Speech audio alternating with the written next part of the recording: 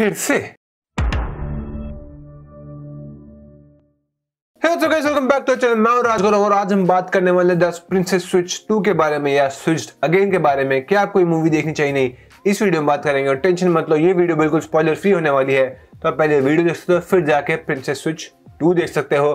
And I would recommend जाके ज़रूर देखना। बट अगर आपने पहला पार्ट नहीं देखा है तो आपको मतलब ये चाह रहे हो कि क्या है ये थोड़ा सा पता चल जाए कि मूवी सीरीज़ किसके बारे में है। तो ये बारे में है दो सिमिलर लड़कियों के बारे में जो एक जैसी दिखती हैं, अपनी लाइफ स्विच करती हैं ताकि एक दूसरे की लाइफ जी सके। तो बेसिक थीम ये था इसका और अभी भी वही है बट अब यहाँ पे एक और लुक अलाइक आ जाती है। हमें स्टेसी और मार्गरेट स्विच करती है ताकि मार्गरेट केविन के साथ और टाइम स्पेंड कर सके। उसी टाइम जब सब कुछ सही हो रहा होता है एक तीसरी लुक अलाइक आ जाती है इनके लाइफ में बाधा बनने।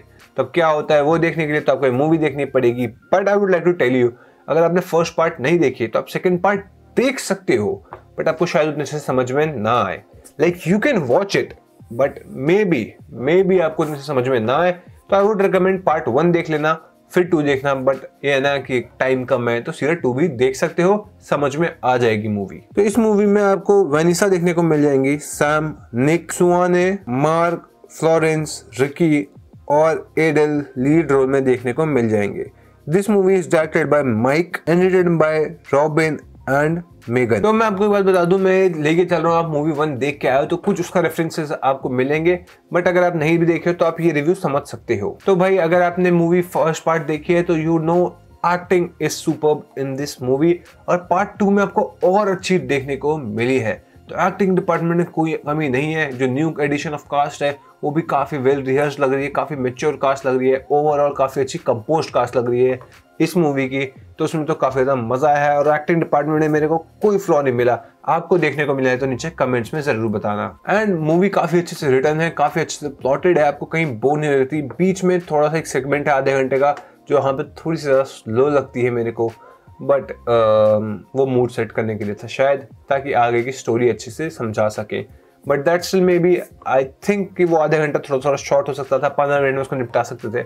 But anyways apart from that this movie is really good in terms of plot and placing but let's talk about the best part of this movie that is the feels the aesthetics and the camera work तो भाई इस movie के aesthetics काफ़ी अच्छे हैं।